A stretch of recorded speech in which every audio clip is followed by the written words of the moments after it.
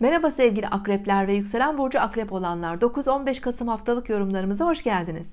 Sevgili akrepler Güneş akrep burcunda ilerliyor ve bu hafta doğan tüm akrep burçlarımızın doğum gününü kutluyorum. Sağlıklı mutlu başarılı bir yıl dilerim size. Evet yükselen akrepler de bu videoyu izliyor. Önemli bir haftadayız. Hafta sonunda burcunuzda bir yeni ay doğacak. Bunun öncesinde hafta genelinde ayın ışığı kapanan fazla Aslan, Başak, Terazi ve Akrep burçlarında ilerlerken bir yandan da geçtiğimiz birkaç haftanın konularını şöyle bir gözden geçirebilir, değerlendirebilir, toparlayabiliriz. Genel sağlığınız, günlük hayatınız, iş ve mesleki konulardaki ayarlamalar, düzenlemeler bu haftayla beraber şöyle bir sona erebilir ee, planlarınızı, programlarınızı bir netleştirebilirsiniz. 11 Kasım'dan itibaren Merkür artık burcunuza geçiyor. Merkür bir aralığa kadar Akrep Burcu'nda. Zihniniz çok hızlı çalışacak bu dönemde. Detaylara inebileceksiniz. Herhangi bir konuda araştırma yapabilir. En derinine kadar bilgileri öğrenebilirsiniz. Ee, son derece sezgisel, son derece zeki olabileceğiniz bir dönem. Hem iş hayatınızda hem eğitim hayatınızda hem ilişkilerinizde çok faydalı olabilir sizin adınıza. Ve bu haftadan itibaren artık gezegeniniz Mars Koç burcundaki retrosunu tamamlıyor. 14 Kasım'da Mars ileri harekete dönecek ve 6 Ocak'a kadar Mars Koç burcunda ilerleyecek. Şimdi enerjiniz de bir toparlanacak, yükselecek.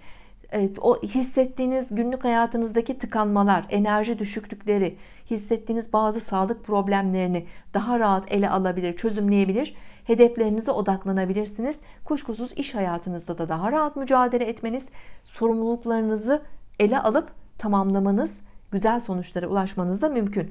Ve yine 15 Kasım'da bu hafta burcunuzda bir yeni ay doğuyor. Özellikle doğum günü 10 Kasım'la 21 Kasım arası olan sevgili akrep burçlarımız ve yine kişisel doğum haritalarınızda 10, 23 e, derece ve yakınlarında sabit burçları olan yükselen burcu 23 derece ve yakınlarında olan akrep burçlarımız bu yeni aydan çok güçlü etkiler alabilirler. Güzel bir yeni ay. E, verimli bir yeni ay. Hem yönetici gezegen Mars artık düzelmiş olacak, ileri hareketli ve güçlü. Aynı zamanda Merkür Akrep burcunda ve bu yeni ay e, Plüto ve Jüpiter'den çok güzel destek açısı alıyor. Hedeflerimizi büyütebileceğimiz bir yeni ay. Yeni kapıların açılacağı bir yeni ay. Evet, bu bir hedef eğitimle ilgili olabilir, ticari bir girişim olabilir, ilişkilerle ilgili olabilir.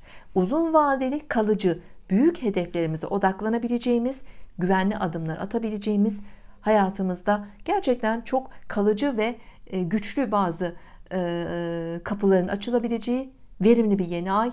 Bu işle ilgili olur, eğitimle ilgili olur, ilişkilerle, kariyerle ilgili olur. Yani her alanda kişisel doğum haritanızın yerleşimlerine göre bu etkiler değişebilir. Ama yeni ay genel olarak destekleyici ve güvenli adımlar atabileceğiniz güçlü bir yeni ay.